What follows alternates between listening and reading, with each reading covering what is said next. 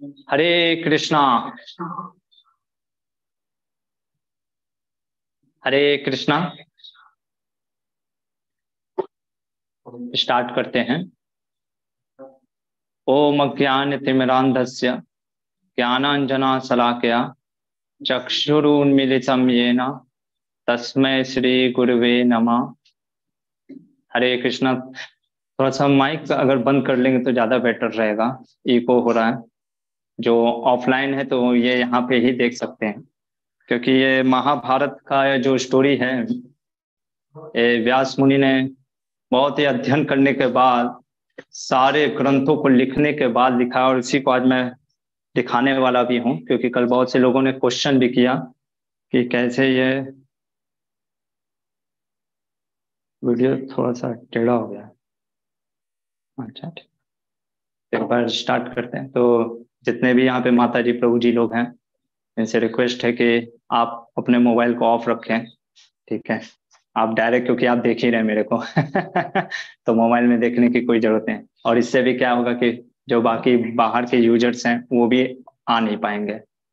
तो स्टार्ट करते हैं। श्री श्री राधा गोविंद जी को स्मरण करते हुए, श्री प्रभुपाद जी को स्मरण करते हुए, ओम ज्ञान तिमिरांधस्य ज्ञानांजना सलाकया। चक्षुरुन्मिलितं येन तस्मै श्री गुरुवे नमः। नमां विष्णुपादाय कृष्णपृष्ठाय भूतले श्रीमते भक्ति वेदांत स्वामी निति नामिने नमस्ते सरस्वती देवी गौरवाणी पचारिणे निर्विशेष शून्यवादी पाश्चात्य देश तारिणे श्री कृष्ण चैतन्य प्रभु नित्यानंद श्री अद्वैत गदाधर शिवासादि गौर भक्तवृंद हरे कृष्णा हरे कृष्णा कृष्णा कृष्णा, हरे हरे। हरे राम हरे राम राम राम, हरे हरे। ओ नमो भगवते वासुदेवाय। ओम नमो भगवते वासुदेवाय। ओम नमो भगवते वासुदेवाय। नारायणं नमस्कृत्यं, नरं चैव नरोत्तमं। देवीं सरस्वतीं व्यासं, ततो जयमुदीरये हरे कृष्णा। तो सभी का श्रीमद महाभारत के दूसरे दिन में आज का जो हम थीम लेने वाले हैं, मैं आशा करता हूँ सभी को आवाज़ आ रही होगी। अगर आ रही है तो आप ऐसे कर सकते हैं हम सब तो इससे मुझे पता चलेगा कि आवाज़ क्लियर है। और कभी भी कुछ नेटवर्क या कुछ वॉइस अनक्लियर है तो आप हमेशा बोल सकते हो। हाँ रेज हैंड कर सकते हो। और एक और क्वेश्चन है कि जब भी आपको बीच में भी कभी कोई क्वेश्चन रहे तो आप क्वेश्चन टाइप कर सकते हो। जिससे कि हमारे जो टीम है वो देख लेगी। तो कल थोड़ा सा रिकैप कर देता हूँ महाभारत का डे वन को। फिर डे टू के जो जैसे जैसे दिन बढ़ते जाएगा, वैसे वैसे कंट्रोवर्शियल बढ़ते जाएगा। और इसलिए मैं रिक्वेस्ट करूँगा कि बहुत ध्यान से सुनिएगा। और जो क्वेश्चन आप पूछे तो आज ही के क्लास से या प्रीवियस क्लास से पूछना। आगे के क्लासेस का अभी मत पूछना कि अभी ऐसे क्यों हुआ ये क्यों हुआ क्योंकि सब रिवील होगा। और अगर कोई आपका क्वेरीज रहेगा भी तो आप मेरे को व्हाट्सअप कर सकते हैं नंबर आपको पता ही है जो हमारा टीम का जो क्योंकि ये क्यों ज़रूरी है महाभारत को? तो मैं आपको कुछ शेयर करता हूँ स्क्रीन से, से। ये हमारे मध्वाचार्य ने कल मैंने आपको महाभारत तात्पर्य निर्णय आपको एक ग्रंथ भी दिखाया था तो उस ग्रंथ के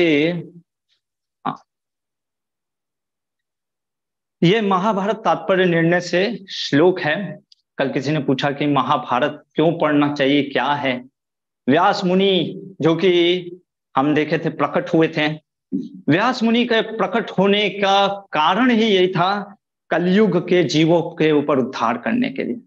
उनके पिता पराशर मुनि, जो कि शक्ति के एकमात्र पुत्र रहते हैं, इसकी भी चर्चा करेंगे। जब मार डालते हैं विश्वामित्र मुनि, ये वशिष्ठ मुनि के पुत्र शक्ति शक्ति के पुत्र हुए पराशर मुनि पराशर मुनि के पुत्र हुए व्यास मुनि। पराशर मुनि ने देखा कि यह बहुत ही सौभाग्य का या बहुत ही अच्छा मुहूर्त है। उस समय उन्होंने व्यास मुनि को प्रकट किया, भगवान को प्रकट किया, साक्षात व्यास मुनि। व्यास मुनि प्रकट क्यों हुए थे? आप अगर श्लोक देखें कंपोजिशन ऑफ़ महाभारत ये महाभारत तात्पर्य निर्णय जो कि हमारे मध्वाचार्य ने इसको कंपाइल किया है। कहते हैं इसमें कि समस्त शास्त्रार्थ निर्देशनात्मकम, सारे शास्त्रों का निर्देशन करने के लिए व्यास मुनि ने इस महाभारत शास्त्र की रचना की। और देखिए क्या बोल रहे हैं, इस महाभारत को स्वयं ब्रह्मा, रुद्र अन्य देवताओं ने वेद व्यास से स्वयं सुना। इन्होंने सुना? भगवान शिव, ब्रह्मा और सभी देवताओं ने किससे सुना? व्यास मुनि से सुना। इसके स्पेशल नोट में हमारे वादीराज तीर्थ कहते हैं कि कलयुग के जीवों के लिए विशेषकर यह महाभारत ग्रंथ की रचना की गई। क्योंकि इस महाभारत में आपको ये देखने को मिलेगा कि राजसु यज्ञ की जैसी कथा है कि कृष्ण का सबसे पहले अग्र पूजा। तो इस महाभारत का मूल उद्देश्य क्या है कि भगवान के बारे में, कि भगवान कैसे सर्वोत्तम है, उस चीज़ के बारे में बताने के लिए व्यास मुनि ने यहाँ पे एक ग्रंथ लिखा। भगवान वासुदेव कीर्तयते अत्र सही सत्यम तम चैव पुण्यमेव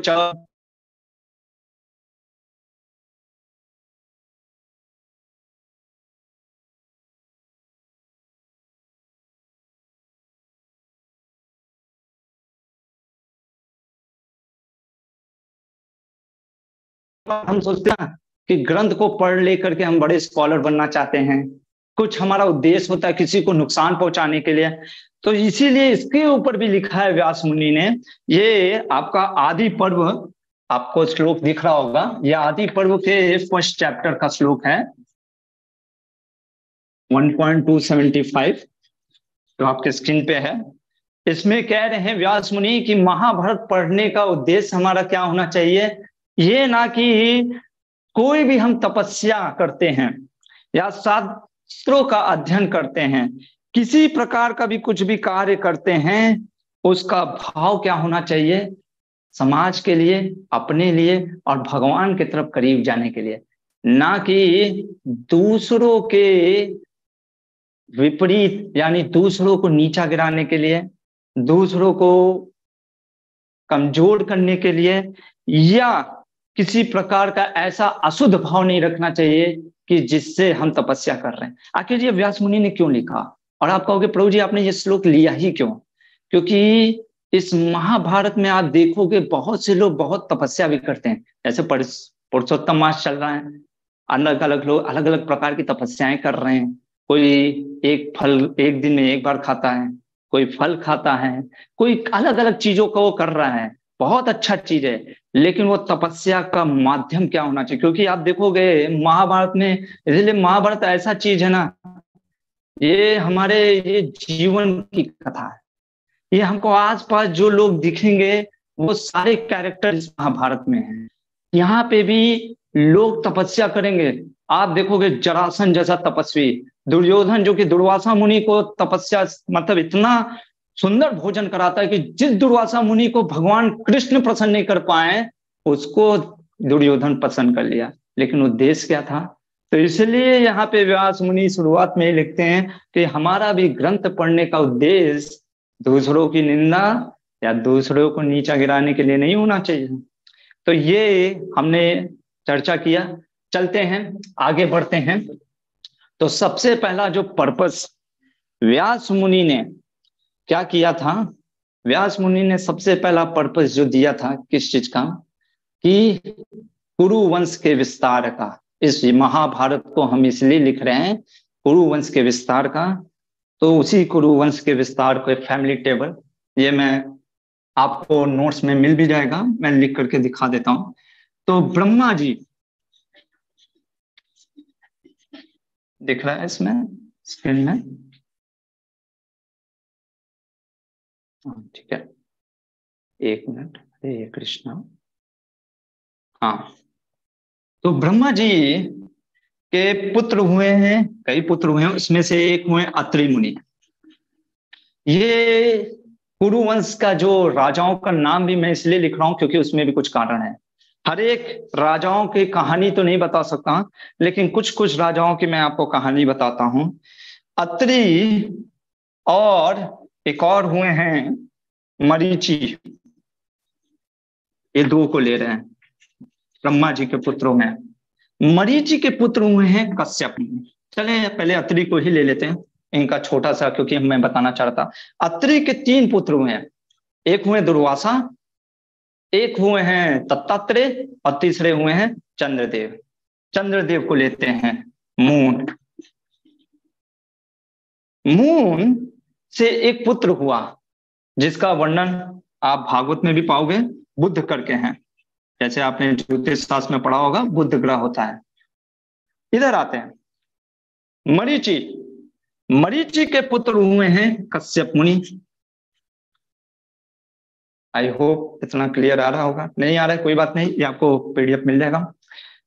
कश्यप मुनि, और इधर मैं एक और लिखता हूँ, प्रचेतास। प्रचेतास हुए हैं। इनके पुत्र हुए दक्ष। दक्ष की पुत्री हुई है आपकी अदिति। अदिति और कश्यप का विवाह हुआ। उनसे पुत्र हुए हैं सूर्य देव कई पुत्र हुए हैं। उसमें से एक सूर्यदेव की चर्चा हम कर रहे हैं। और ये चंद्रवंश, ये सूर्य वंश ठीक है? अब ये देखो, इस सूर्य वंश में एक ईला करके, जिसका नाम है सद्युम्न भी, इस ईला और बुद्ध का समागम होता है। ईला को श्राप भी मिलता है कि वो छह महीना पुरुष, छह महीना स्त्री रहेगी। क्यों रहेगी? ये भागवत में आपको बताया जाएगा। बुद्ध और ईला का जब ये स्त्री होती है, तब ये बुद्ध के साथ संग करती है और बुद्ध और इला से पुत्र उत्पन्न होता है पुरुर्वा। ये पुरुर्वा की भी कथा ग्यारहवें स्कंद में आपको मिलेगी भागवत के। क्योंकि भागवत में आने वाला इसलिए मैं आपको स्टोरी नहीं बता रहा हूँ। फिर भी अगर आपको जानने की इच्छा होगी एंड में जब महाभारत का कुछ भी आपको एंड में जब पूछना होगा, कुछ आप पूछ सकते हो। पुरुर्वम के लगभग सब राजाओं का नाम नहीं लिख रहा हूँ। एक, दो, सब वैसे इंपॉर्टेंट है। तीसरा यजाति महाराज। तीन जनरेशन बाद यजाति महाराज आते हैं। यजाति महाराज के कई पुत्रों में से, क्योंकि यजाति महाराज को श्राप दे देते हैं शुक्राचार्य, वो भी हम देखेंगे। शुक्राचार्य के श्राप होने के बाद उनका यौवन चला जाता है। वो उनके पाँच पुत्र होते हैं, यदु, पुरु, तुवर्सु द्रुहु और अनु। कोई सब अपने पत्र से कहते हैं कि मुझे कोई जवानी दे दो, सब मना कर देते हैं। यदु भी मना कर देते हैं, क्योंकि यदु जानते मेरे यदु कुल में कौन आने वाला है? भगवान आने वाले हैं। पुरु रेडी हो जाते हैं, पुरु को राजा बना दिया जाता है। पुरु के लगभग पंद्रह पीढ़ी के बाद फिफ्टीन जनरेशन के बाद, अब हम थोड़ा सा फास्ट फॉरवर्ड चल रहे हैं। स्टोरी आती है दुष्यंत महाराज की। होता क्या है, एक बार दुष्यंत महाराज अब यहाँ पे रुकते हैं, क्योंकि ये बहुत इंपॉर्टेंट है। दुष्यंत महाराज, राजा दुष्यंत, और देखिए, जो भी स्टोरी रहेगा, हर स्टोरी जो व्यास मुनि ने लिखा, सिर्फ़ स्टोरी सुनाने के लिए नहीं सुनाया। ऐसे दादी और मम्मी कहानी सुनाती है, ऐसे सुनाने के लिए। ये सुनाने के लिए स्टोरी नहीं है, इसके पीछे बहुत पीछे धर्म छिपा है। उस धर्म को हम चर्चा करेंगे। दुष्यंत जो थे वो निकले किस लिए?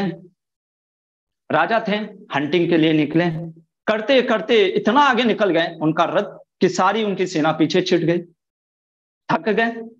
घंघोर जंगल में, अभी कहाँ पानी और ये मिलेगा? तो चलते चलते अकेले ही निकल पड़े और देखते हैं, एक कुटिया आश्रम। कन्व मुनि की आश्रम थी। जा करके वहाँ पे देखते हैं तो शकुंतला करके वहाँ पे कन्या होती है और उसकी कुछ सहचरियाँ मतलब सहेलियाँ होती हैं। कन्व ऋषि वहाँ पे नहीं थे। दुष्यंत क्योंकि अतिथि थे, राजा भी थे, उनका सद्भाव करने के लिए, उनका वेलकम करने के लिए क्या करती है? शकुंतला उनको बैठाती है। लेकिन इधर क्या हो जाता है? दुष्यंत को मन में आ जाता है। उनके प्रति आसक्ति, शकुंतला की। दुष्यंत चीज़ सोचते हैं, देखो, पहले ये सोशल सिस्टम आप समझो। सोशल कस्टम आप समझने का प्रयास करो। ये उस समय की बात हो रही है जब लोगों का मन इतना पवित्र होता था। दुष्यंत बोलते हैं कि मेरा मन शकुंतला में जा रहा है इसका अर्थ ये है कि वो स्त्री जो है, शकुंतला, वो ऋषि कन्या हो ही नहीं सकती। आप कहोगे, ऐसा क्यों प्रभु जी? ऐसा इसलिए क्योंकि दुष्यंत है, क्षत्रिय। ये मैं कर्म और गुण दोनों से बोल रहा हूँ। शकुंतला अगर ब्राह्मण है, कर्म और गुण से, एक क्षत्रिय मैन एक ब्राह्मण वुमेन से शादी नहीं कर सकता। क्यों नहीं कर सकता? उसका कारण है वर्ण संकर होता है। प्रतिलोम विवाह कहते हैं इसको। क्यों आप कहते हो? सिंपल सा मैं आपको लॉजिक बताता हूँ। ये साइकोफिजिकल नेचर होता है। सपोज़ करिए हस्बैंड बहुत ही, उसको सब चलता है गंदगी वंदगी वाइफ जो है, उसको पूरा क्लीननेस चाहिए होता है। अगर हस्बैंड अनक्लीन रहेगा और वाइफ क्लीन रहे, रहना चाहती है तो दोनों में क्या होगा हमेशा? मतभेद होगा ना। ऐसे बहुत सारे साइकोफिजिकल नेचर इसलिए हमारे वैदिक शास्त्र उस साइकोफिजिकल नेचर को रखते हुए साइकोलॉजी को रखते हुए, बहुत उसके कारण ये तो मैं बस ऐसे छोटा सा उदाहरण दिया तो इस कारण से ये प्रतिलोम विवाह होता, जिससे कि वर्ण संकर होता। इसलिए दुष्यंत कहते हैं, हो ही नहीं सकता। कि तुम कन्या नहीं हो ऋषि की। बताओ कौन हो? शकुंतला कहती है, मैं वास्तव में मेनका की पुत्री हूँ। कहते हैं, स्टोरी बहुत लंबी है। राजा विश्वामित्र पहले होते हैं, वो कौशिक राजा होते हैं, विश्वामित्र मुनि बनते हैं। विश्वामित्र मुनि तपस्या करते हैं, इंद्र की सिंहासन डोलने लगती है। इंद्र मेनका को भेजते हैं। मेनका के पायल की आवाज़ सुन करके, विश्वामित्र के, हरे कृष्णा, बंद कर देंगे तो ज़्यादा बेटर रहेगा. हाँ आवाज़ कहीं से आया? विश्वामित्र मुनि विश्वामित्र मुनि जो है, मेनका से मेनका से अट्रैक्ट हो जाते हैं, संग करते हैं, और चूँकि मेनका का बस उद्देश्य था उसका कि विश्वामित्र के तपस्या को भंग करना, वो कहती, मैं तो जा रही हूँ बच्ची को छोड़ करके ऋषि विश्वामित्र वो उस बच्ची को दे देते हैं वहाँ पे, और उसी लिए उसका नाम शकुंतला, जिसको कन्वर ऋषि लेकर के आ जाते हैं। तो यहाँ पे जब वो दुष्यंत महाराज कहते हैं अच्छा ये कारण है तो वो कहते हैं कि, चलो, हम विवाह करते हैं। आप कहेंगे, ये कैसा इसको, ये कैसा विवाह है? तो साक्षी कौन होगा? क्योंकि विवाह में साक्षी होना चाहिए ना। तो दुष्यंत महाराज और शकुंतला रेडी हो जाते हैं एग्री कर जाते हैं, परमात्मा। पहला कंडीशन क्या है? परमात्मा साक्षी है। कौन साक्षी है? परमात्मा। दूसरा कंडीशन शकुंतला रखती है, ये ध्यान रखिएगा। ये कंडीशन क्या हुआ? नहीं है। हाँ। दूसरा कंडीशन जो है, शकुंतला रख रही है ये कंडीशन को याद रखिएगा। शकुंतला ने कहा कि मेरे गर्व से जो संतान होगी, जो पुत्र होगा, उसको तुम्हें राजा कुमार बनाना पड़ेगा। दुष्यंत कहते हैं, मैं रेडी हूँ। और ये बोल करके जो है, इस इधर से आवाज़ आ रहा है? थोड़ा सा बंद करवा देते हैं। अच्छा होता, क्योंकि डिस्ट्रैक्ट हो जाता है ना। सन जो होगा, वो राजकुमार होगा। ये चीज़ होगा। तो इस चीज़ को जब अभी तो ये विवाह करके दुष्यंत कहते हैं, मैं पूरे राजपाठ पूरे करने के बाद मतलब कोई दिनों के बाद मैं तुमको लेने आऊँगा।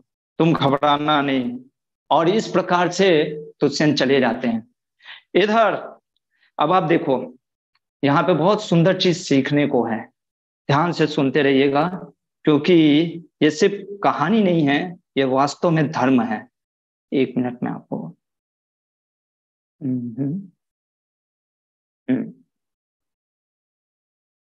स्क्रीन शेयर करता हूँ आपको।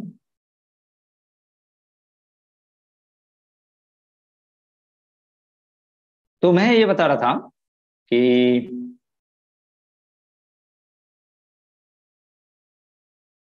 कृष्ण।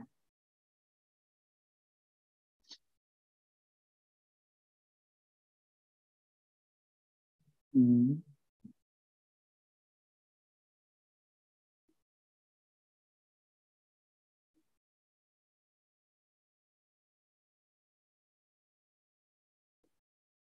हम्म।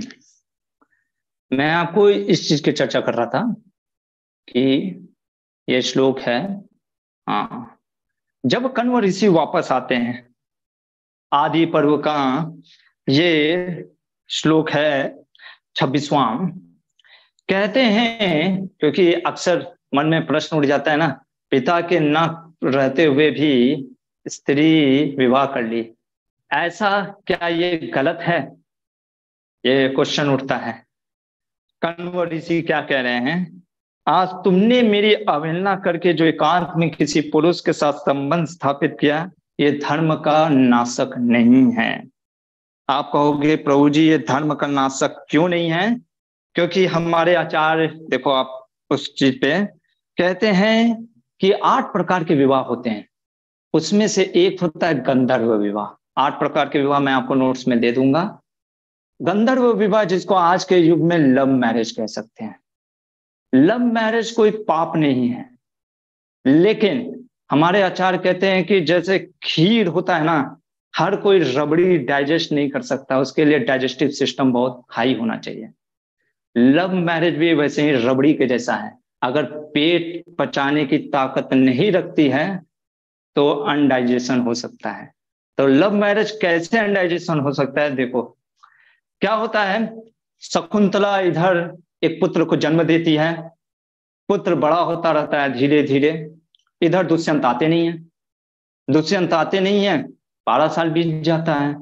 यहाँ पे कहते हैं कन्वर ऋषि की बेटी, स्त्री को अपने मायके, कहते ना, अपने घर में नहीं रहना चाहिए ज़्यादा दिन। क्यों?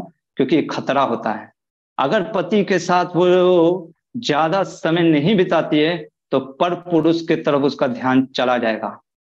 मोस्ट प्रोबेबली इसलिए वो कहते हैं कि तुमको जाना चाहिए। पर दुष्यंत ने बोला था कि मैं पूरे सारे राजाओं को लेकर के आऊँगा। आए नहीं, खैर, कोई कारण हो। अपने पुत्र को लेकर के दुष्यंत के राजमहल में जाती है और कहती है कि मैं आपकी पत्नी हूँ। दुष्यंत कहते, कैसे मैं विश्वास कर लूँ कि आप, मैं आपकी तुम मेरी पत्नी हूँ? दुष्यंत को कहते हैं, सुनो, हे राजन, मैं तुमसे श्रेष्ठ हूँ।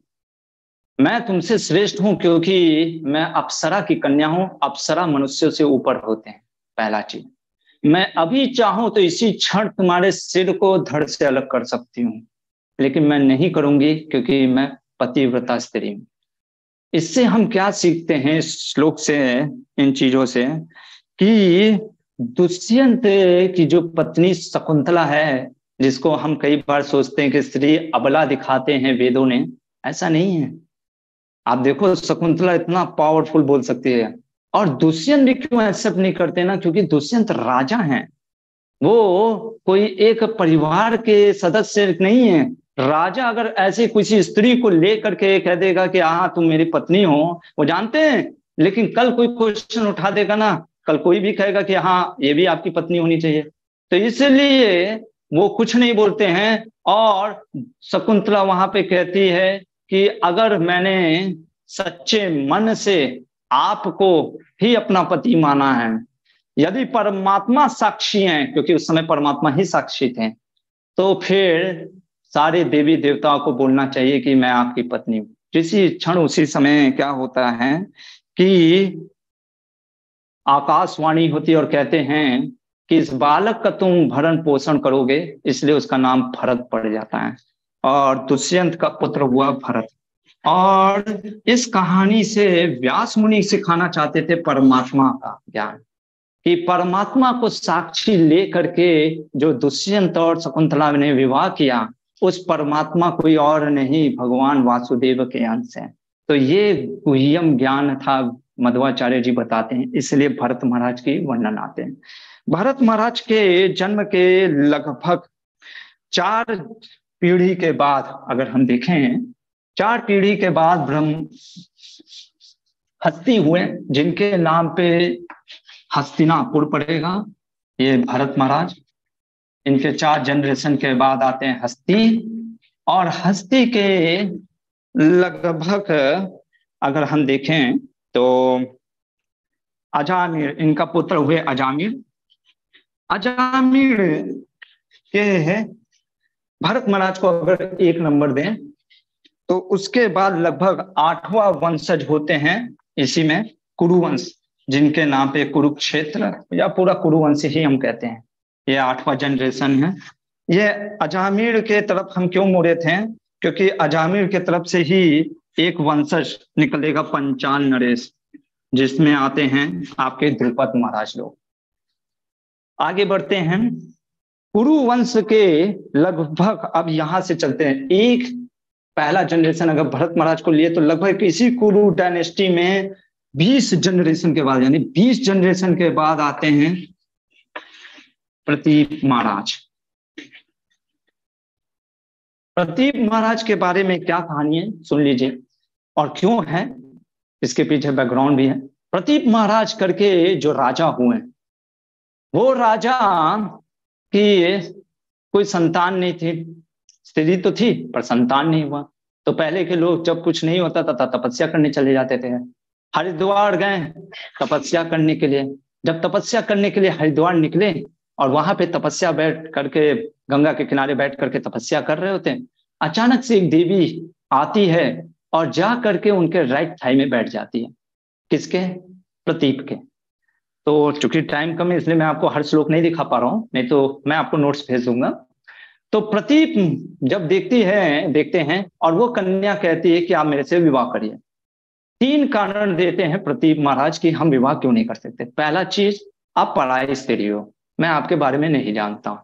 दूसरा चीज़ आप काम के वेसना से आई हो, काम के वासना से आई हो, इसलिए मैं विवाह नहीं कर सकता।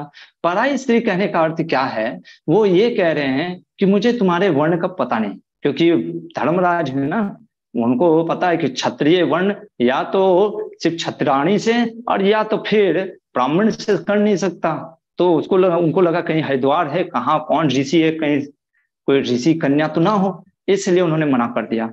और तीसरा चीज़ प्रमुख कारण बोले हैं क्योंकि तुम मेरे राइट थाई में बैठी हो।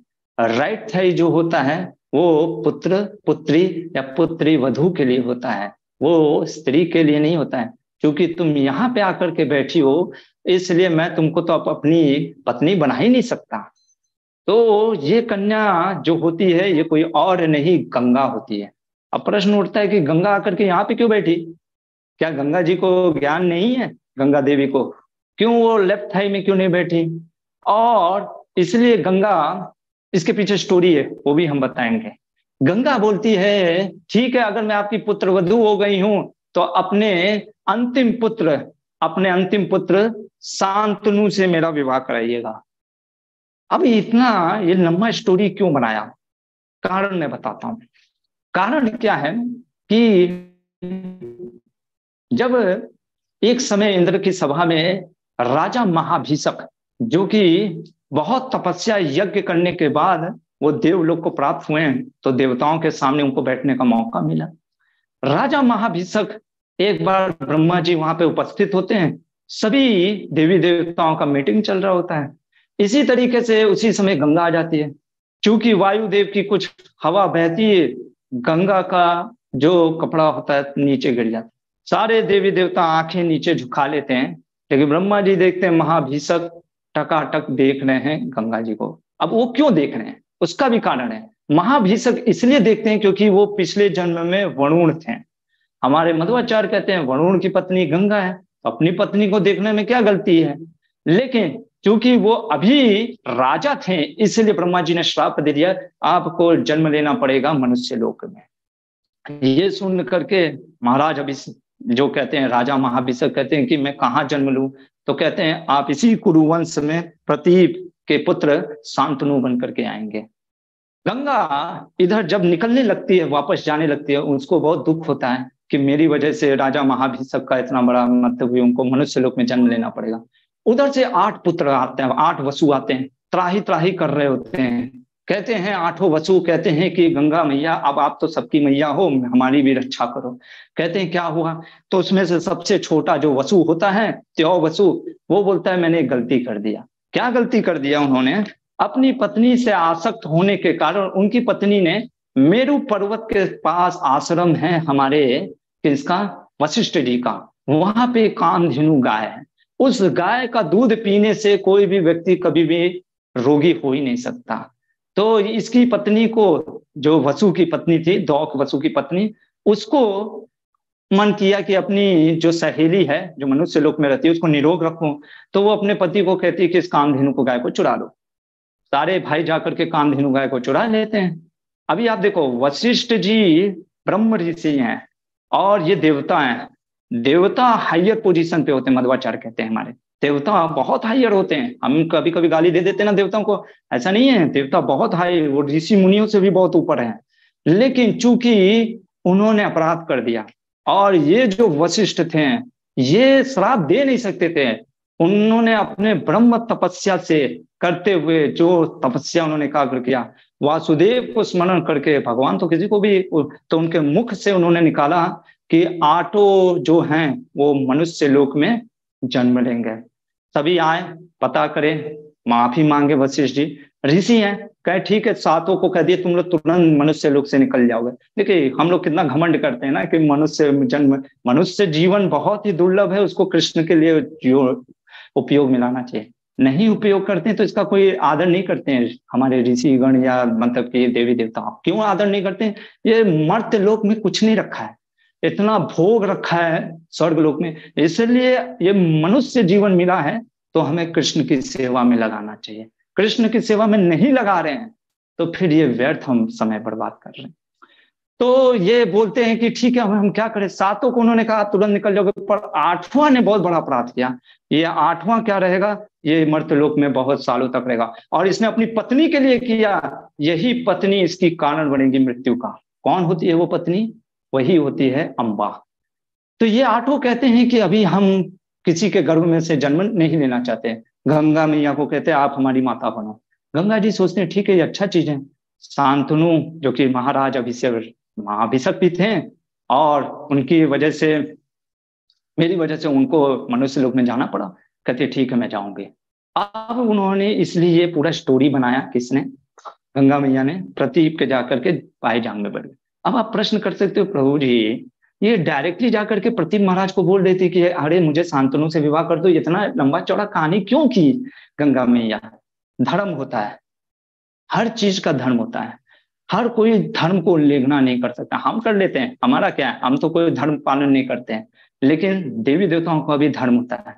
देवी देवताओं का दो तीन धर्म होता है। पहला धर्म ये होता है, जब वो इस मर्त लोक में आते नहीं है। आते हैं तो कुछ कारणवश से आते हैं पर्पज के लिए। दूसरा चीज़ रिवील अपना नहीं करते डिविनिटी और रिवील इसलिए नहीं करते हैं क्योंकि कुछ कारण होता है उसमें भी। अगर रिवील कर देंगे कि मैं देवी देवता हूँ, मैं इंद्र हूँ या चंद्र हूँ तो फिर वो डिस्टर्ब कर देगा मूड को। और तीसरा कारण क्या था? क्योंकि उनको पता था प्रतीप राजा बहुत धर्म से युक्त हैं। वो कभी भी अपने पुत्र मनुष्य का एक देवी कन्या से विवाह नहीं करेंगे। इसलिए क्या कहती है? इसलिए हमारी जो देवी गंगा कहती है, शांत, प्रतीप को, कि आप एक काम करना, आप अपने पुत्र को बोलना कि जब कोई उससे कन्या मिलने आएगी या किसी कन्या के प्रति उसका प्रेम बढ़ेगा तो उसके बिना सारे शर्तों को मानते हुए उससे विवाह कर लें। प्रतीप ने कहा, ठीक। प्रतीप वापस जाते हैं। इधर गंगा वापस जाती है।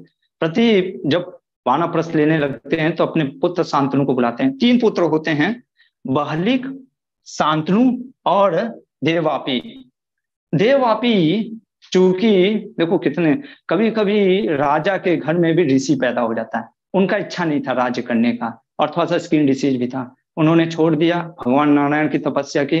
भगवान नारायण ने कहा, ये जो कलयुग खत्म होगा, अगला जो सतयुग स्टार्ट होने वाला है वो सतयुग उन्हीं से स्टार्ट होगा। वही वो समय वो राजा अभी भी ज़िंदा है, देवा पे।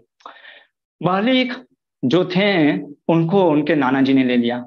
कहा कि मेरे को कोई संतान नहीं। बचे शांतनु। शांतनु को राजा बनाने के बाद निकल जाते हैं प्रतीप और कहते हैं, सुनो बेटा, किसी दिन तुमसे कोई देवी कन्या कुछ मिले, उसके बिना शर्त, उसके सारे शर्तों को मानते हुए, बिना उससे पूछे कौन हो तुम, विवाह कर लेना। मेरा बस इतना आग्रह है।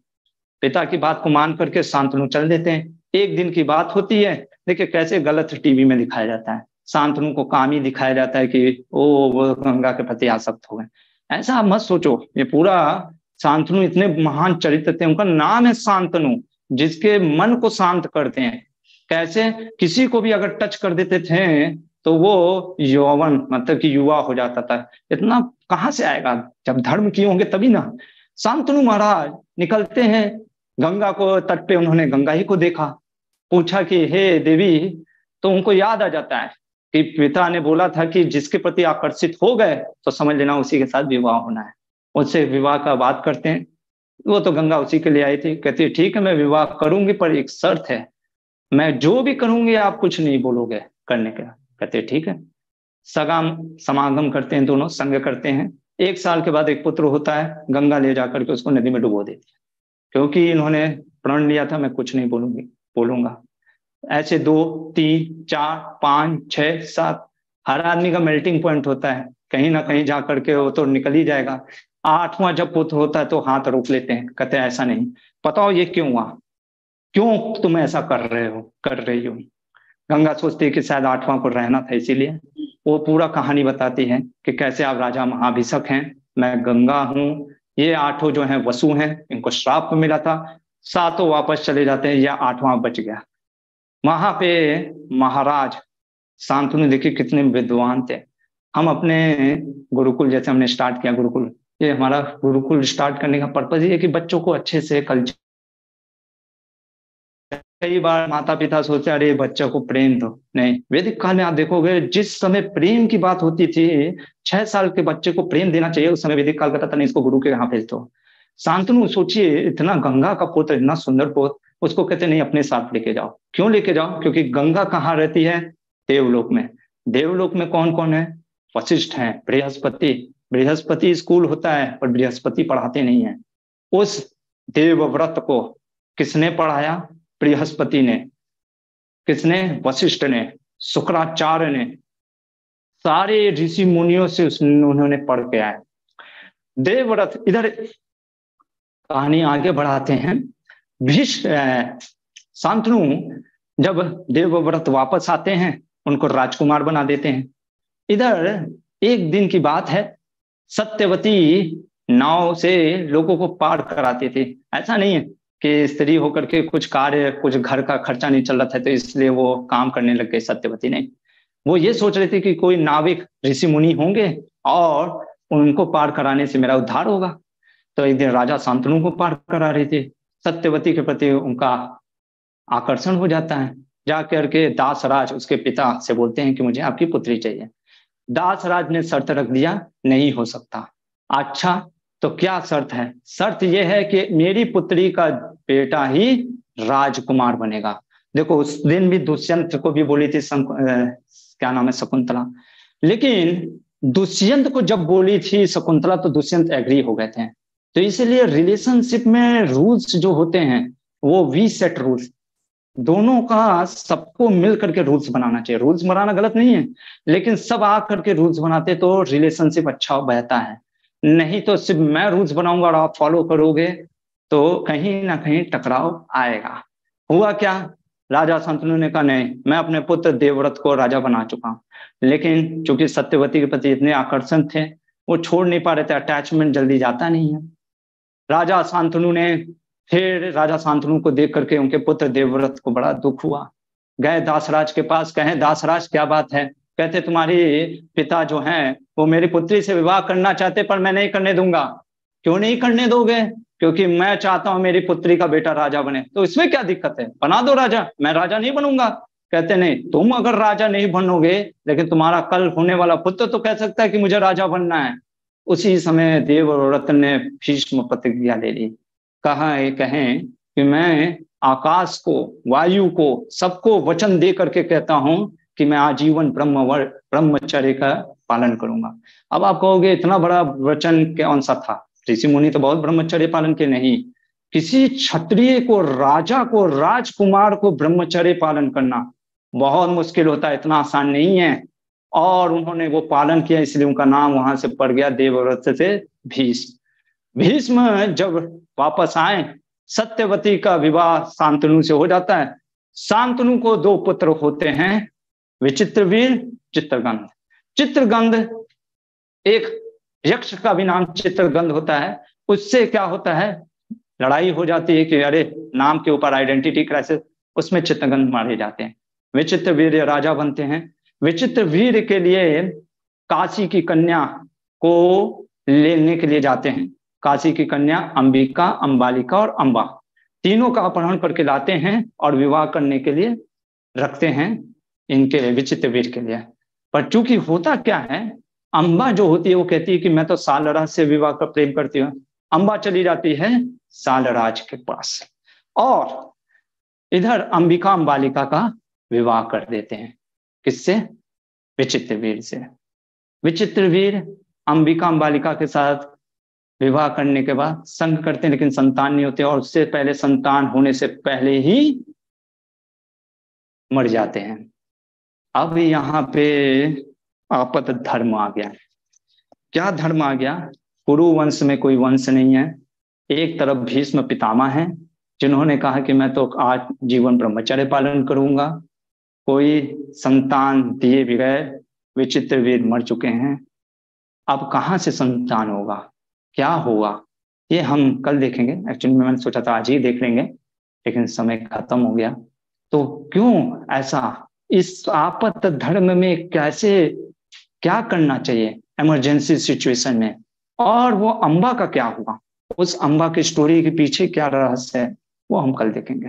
हरे कृष्णा किसी का कोई क्वेश्चन कोई कमेंट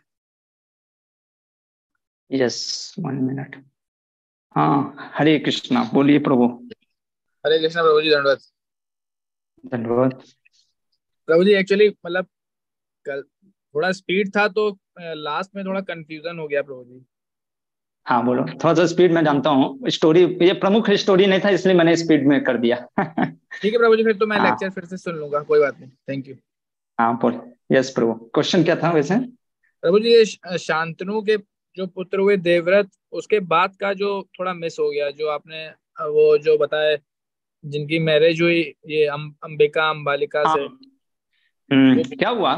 देवव्रत जो भीष्म हो गए, शांतनु का विवाह हुआ सत्यवती से। सत्यवती के विवाह से उनको दो पुत्र हुआ, चित्रांगद और विचित्रवीर। शांतनु मरने से पहले अपने पुत्र के ऊपर इतना प्रसन्न हो गए थे, इसलिए उन्होंने उसको इच्छा मृत्यु का वरदान दिया। भीष्म को इच्छा मृत्यु का वरदान देने वाले शांतनु ही है कोई देवी देवता नहीं, सोचिए शांतनु कितने महान होंगे। तो इधर भीष्म को पता चलता है कि काशी की कन्या का वर्णमाला हो रहा है। काशी की कन्या का वर्णमाला और हस्तिनापुर के नरेश को बुलाया ही नहीं गया। भीष्म को बड़ा क्रोध आया। कहें कि मैं अपने पुत्र के प्रतिनिधित्व को रिप्रेजेंट करते हुए मैं जाता हूँ। गए, भीष्म से कौन लड़ेगा? मैं पहले ही बता चुका। परशुराम जिनके गुरु हैं, वशिष्ठ जिनके गुरु हैं, जिनके गुरु बृहस्पति हैं, शुक्राचार्य हैं, इतने महान है भीष्मदेव, इसीलिए तो पूरा एक शांति पर्व उन्हीं के ऊपर डेडिकेट रहेगा। भीष्मदेव तीनों कन्या को उठा करके ले आते, कोई लड़ने नहीं आता है। कौन लड़ेगा भीष्मदेव से? जिन, जिस भीष्मदेव ने परशुराम को हरा दिया, देखेंगे वो कल स्टोरी तो उनसे कौन लड़ेगा? तो इसलिए भीष्मदेव जब लेकर के आते, लेकिन भीष्म महान कैरेक्टर है। अम्बा ने कह दिया कि मैं तो विवाह, प्रेम करती हूँ सालराज से। अंबा को कहते, ठीक है, तुम चले जाओ। अपने मन से नहीं, ऋषि मुनियों को पूछा, मैं आपको वो नोट्स भी दे दूँगा उसमें ऐसा नहीं, ये सब चीज़ें कि भीष्मदेव मोनार्की हैं। अरे, मैं जो बोलूँगा वही करे हुए नहीं वो ऋषि मुनियों से पूछते थे। तो ऋषि मुनियों ने कहा विवाह को जाने दो। अंबिका अंबालिका का विवाह विचित्र वीर से कर दिया। लेकिन संतान होने से पहले ही विचित्र वीर मारे गए। अभी कोई संतान नहीं है। कुरुवंश रुक गया है। अब कौन कुरुवंश को संतान देगा? यहाँ पे हम कल देखेंगे। ठीक है प्रभु? Thank you Hare Krishna. और किसी का कोई क्वेश्चन है?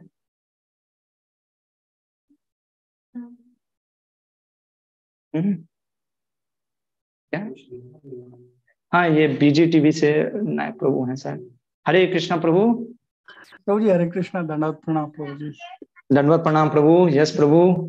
प्रभु जी आपने कहा कि क्षत्रिय ऋषि थे ब्राह्मण थे शायद ब्राह्मण या क्षत्रिय का विवाह नहीं हो सकता है बोलते मैंने ये बोला था क्षत्रिय अगर मैन है पुरुष अगर क्षत्रिय है ब्राह्मण उच्च कोटि की है ऐसे ही क्षत्रिय मान मान लीजिए पुरुष अगर वैश्य है गुण और कर्म से मैं बता रहा हूँ साइको ये ये सोशल सिस्टम थोड़ा समझना पड़ेगा। ये वैदिक काल सोशल सिस्टम आजकल तो वैसे क्षत्रिय ब्राह्मण कुछ रह नहीं गया है उसको हमें देखना पड़ेगा साइको फ़िज़िकल नेचर से। तो higher caste in the sense consciousness wise उससे पुरुष विवाह नहीं कर सकता है। स्त्री को या तो पुरुष के उसी वर्ण का होना चाहिए या उससे लोअर वर्ण का? क्यों ऐसा ये वर्ण संकर होता है? क्यों वर्ण संकर? जैसे मैंने एक उदाहरण दिया ना, क्योंकि कैसा होता है ना कि ऐसा नहीं स्त्री को नीचे गिराने के लिए या स्त्री को, क्योंकि ये मेंटालिटी या साइकोलॉजी है। स्त्री हमेशा सोचती है कि उसका पुरुष जो है पति, वो ट्वेंटी होना चाहिए, बीस होना चाहिए। ये साइकोलॉजी है। एक्सेप्शनल होते हैं, लेकिन एक्सेप्शनल की बात नहीं कर रहा हूँ। रियलिटी पे हम जीते हैं।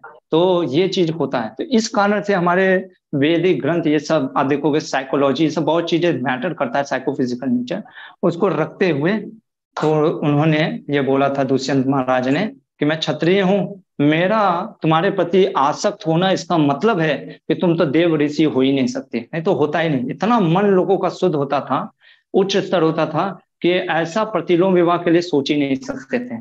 तो वो उस समय का वैदिक काल था, इसीलिए वो इतने महान राजा है। ठीक है प्रभु? यू मतलब आपका कहने का मतलब ये है अगर हाईएस्ट कॉन्शियसनेस की माता जी है तो हम्म। क्षत्रिय पुरुष उनके साथ विवाह नहीं कर सकते। यही है ना? ओवरऑल हाँ मतलब क्षत्रिय क्या? कोई भी मतलब मैं एग्ज़ाम्पल ले रहा हूँ क्षत्रिय ब्राह्मण। पुरुष से बीस अगर माता जी हैं ठीक है ना जिस पुरुष से वो विवाह में दिक्कत आती है। अच्छा ओके ओके। अगर कोई अट्रैक्ट मतलब मतलब अपने देखो वैदिक समय, समय का सारे जो ऐसे हुए ना प्रभु जी उसमें अगर लिया जाए मुझे अभी तो याद नहीं आ रहा मैं सोच रहा था हाँ बहुत से लोग अट्रैक्ट भी हो गए गलत गलत तरीके से अट्रैक्ट भी हो गए हम ये नहीं कर पर दुष्यंत महाराज तो कोई असाधारण नहीं ना है। कौन से वंश में आ रहे पूरा? दुष्यंत महाराज वहाँ से आ रहे पूर्वा और ये क्या बोलते हैं ब्रह्मा जी से। महाभारत में नाम दिया दुष्यंत महाराज का तो कैरेक्टर बहुत ही महान होंगे ना तभी ना। मैं तो सबका नाम दे देता। ठीक है ये कारण है प्रभु। हरे कृष्णा। एक मिनट कौन है? एक मिनट हाँ ईशान क्रिस करके हैं प्रभु। हाँ प्रभु हरे कृष्णा।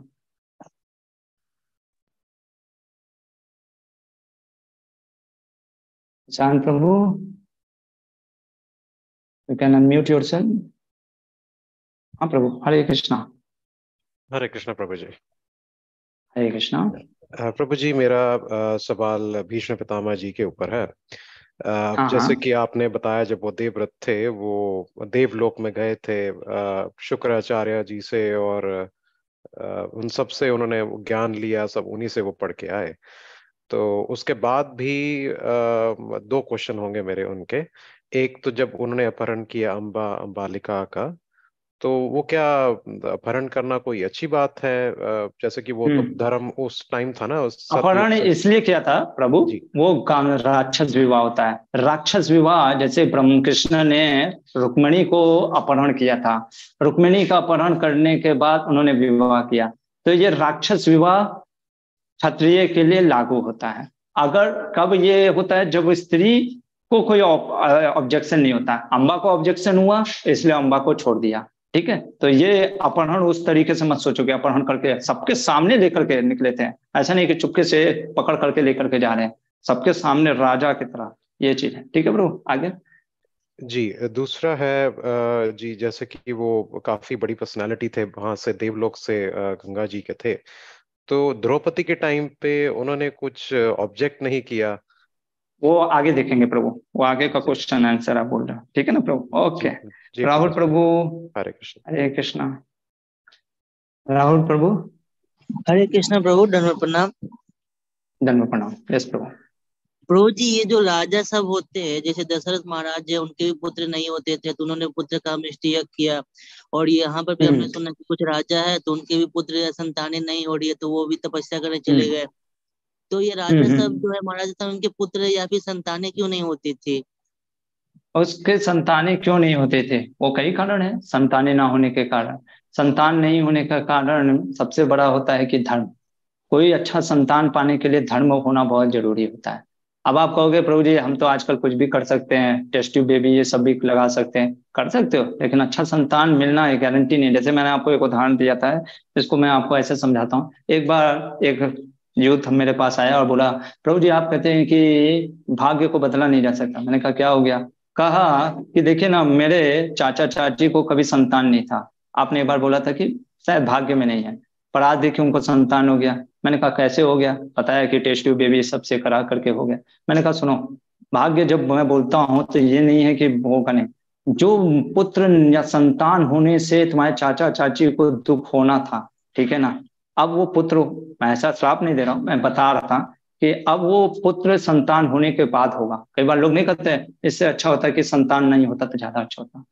ये बहुत ही लॉजिकल चलता है। आप कर्मा के खेल को ऐसे नहीं बिगाड़ सकते हो। तो इसलिए धर्म, ये महाभारत जो है, हमें धर्म करना सिखाता है। अलग अलग प्रकार के धर्म करना सीखना चाहिए। वो ये मत सोचे कि हम भगवान को चकमा दे करके निकल जाएँगे। बहुत ही सब लाइन है। ठीक है ना प्रभु? ठीक है प्रभु। हरे कृष्ण। हरे कृष्णा। हाँ हरिदास जी। हरे कृष्णा। हाँ प्रभु बोलिए। ओके कुलदीप। हरे कृष्णा कुलदीप प्रभु। हरे कृष्णा प्रभु जी। हाँ प्रभु। प्रभु जी ये जो आपने बताया क्षत्रिय जो है या तो क्षत्रिय से शादी करेंगे या फिर ब्राह्मण से नहीं करेंगे। यानी कि उच्च कोटि से नहीं करेंगे बेसिकली जी जी एकदम। तो क्या ये आज के कलयुग में भी क्या ये इम्प्लीमेंट होता है क्या प्रभु जी? आज के कलयुग में दूसरे तरीके से इम्प्लीमेंट होता है psycho physical nature psychology check करते हैं। साइको फ़िज़िकल नेचर एक दूसरे का होना चाहिए। जैसे मैंने उदाहरण सा सिंपल सा दिया वाइफ मान लीजिए बहुत क्लीनलीनेस में रहती हो हस्बैंड क्लीनलीनेस में नहीं रहता हो तो हमेशा नोक झोंक चलता रहेगा घर पे। वाइफ कहेगी कि अरे ऐसे करो, इतना साफ़ सुथरा रहो। पुरुष कहता नहीं, मैं साफ़ सुथरा, मेरा नेचर ये तो नोक झोंक चलता रहता है। कभी कभी लोगों को लगता है, अरे, दिक्कत क्या है? दिक्कत यहाँ पे छोटा छोटा चीज़, बहुत बड़ा चीज़ नहीं, लेकिन साइको फ़िज़िकल नेचर उसको लग ही नहीं रहा है। जैसे मेरा एक मित्र था जब हम आई में पढ़ते थे तो क्या हुआ? वो बोलता था कि, अरे पाँच छह दिन तक नहाता नहीं था डियो मार लेता था। मैं कहता था, मेरे को एलर्जी है, दूर रहो। वो कहता था इतना दिक्कत क्या है? तो वो नेचर होता है, सतोगुण, रजोगुण, तमोगुण, जब गीता में भगवान बोलते हैं, किसी को फ़र्क नहीं पड़ता है, गंदगी में भी वो जी लेता है, क्योंकि उसका वो ऐसा नेचर है, किसी को थोड़ा सा भी एलर्जी हो जाता है तो वो सब टकराव होता है तो वो चीज़ है तो वो चीज़ आज भी मैटर करता है, साइकोफिजिकल नेचर उसको देखना पड़ता है। ओके प्रभु? ओके, जी प्रभु। हरे कृष्णा तो इससे मतलब okay. प्रभु हेलो प्रभु जी हम्म हम्म, हम्म। तो प्रभु जी अगर जो yes, ऐसा वर्ण वर्ण संकरण अगर ऐसा कुछ होता है तो क्या मतलब नेक्स्ट जन, जनरेशन जो आती है वो कुछ गलत जनरेशन हम्म, आती हाँ, है देखो क्या? हाँ गलत संजय हाँ वही चीज़ एक तो जो रिलेशनशिप में बहुत टकराव होता है दूसरा चीज़ उसका वर्ण संकर पुत्र जैसा उत्पन्न होता है वर्ण संकर मतलब कि धार्मिक क्योंकि वो जो बीजी है ना वो गलत है ना वही हम कल चर्चा करने वाले गर्भाधान संस्कार वो बीज गलत हो जाता है ये चीज़ होता है ठीक है? ठीक है प्रभु ठीक है। ओके हरे कृष्णा। हाँ हरिदास प्रभु यू कैन अनम्यूट योरसेल्फ प्रभु जी ये आपने जो पहले वाले बोर्ड पे बताया था आ, हाँ। ये जो भरत जी के बाद में जो आए थे राजा ये कौन थे? भरत जी के।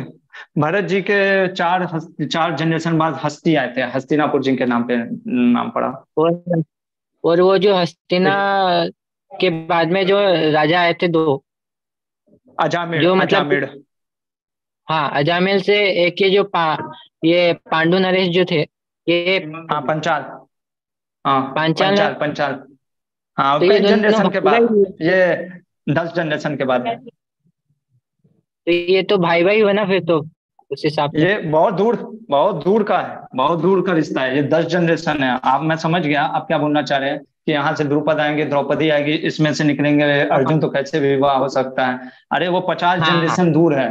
बच्चा ऐसे तो आप देखोगे हर कोई भाई बहन ही है क्योंकि सारा जो है पुरु जो है ना पुरु पुरु यदु यही पूरा पूरे विश्व को फैलाए हुए हैं। महाभारत आप पढ़ोगे तो ग्रीक जो अमेरिकन ये सारा चीज़ ये सारे के सारे कहाँ से ये सब वंशज हुआ पूरा वो जो पाँच बेटे हुए थे ना ययाति कहा ययाति के एक पुरु मैंने बताया एक यदु वंश है एक ऐसे तुरु वंश है एक पूर्वसु वंश है पूरा विश्व में जनसंख्या इन्हीं पाँचों का है। ऐसा नहीं है ना? ठीक है। किसी को क्वेश्चन क्वेश्चन है हाँ यस माता जी। हाँ। हाँ हाँ। हाँ उसके लिए गए थे विचित्र वीर के लिए। तो किसी और फिर तो अम्बा का कहना सही था ना कि आप मुझे कैसे लाए हो? आप लाए हो तो आप मुझे हाँ ये अच्छा प्रश्न है। इसका उत्तर हम कल देंगे। माता जी का प्रश्न है कि जब विहाब पे गए थे रिप्रेजेंटेटिव हो करके कौन? हमारे भीष्म पितामा विचित्र वीर के लिए तो दूसरी स्त्री को टच तो करना नहीं चाहिए था। अब आपने अगर टच कर लिया है तो फिर आप मुझसे विवाह क्यों नहीं कर रहे हैं? वो अम्बा का स्टोरी हम कल देखने वाले हैं कि क्या होने वाला है वो अम्बा का। तो उस चीज़ को हम कल बताएँगे, ठीक? ओके हरे कृष्णा। तो मेरे ख्याल से टाइम भी ओवर हो गया है और थोड़ा सा डिले भी चलेगा। यहाँ पे रुकते हैं। आप सभी का बहुत बहुत धन्यवाद। हरे कृष्णा, ग्रंथराज, श्री महाभारत की जय। शिल प्रभुपाद की